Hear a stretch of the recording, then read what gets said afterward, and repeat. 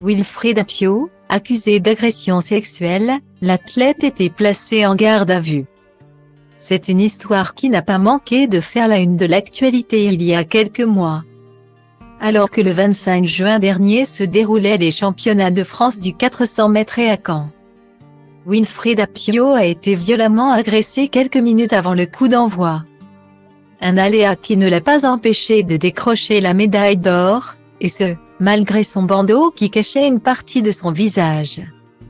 Mais quelques jours plus tard, c'est pour une toute autre raison que l'athlète a fait couler de l'encre.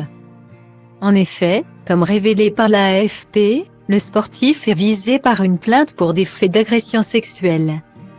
D'après les informations d'Eurosport, la victime présumée, qui serait âgée de 19 ans, accuse Wilfried Apio d'attouchement dans l'enceinte même de l'INSEE, en octobre 2021.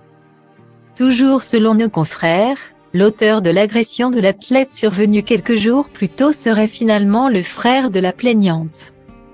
L'enquête sur Wilfried Apio avance, et ce mardi 20 décembre les forces de l'ordre ont décidé de le placer en garde à vue. D'après le Parisien, le sportif âgé de 24 ans devrait d'ailleurs être confronté à la plaignante dans la journée. De son côté, l'INSEE, qui avait lancé une enquête interne pour des gestes déplacés dans l'enceinte de son établissement, a décidé de ne pas sanctionner Wilfried Apio. Un choix expliqué par maître Anthony Motet, l'avocat du sportif. Les faits n'ont pas pu matériellement être établis, a-t-il confié. Affaire à suivre.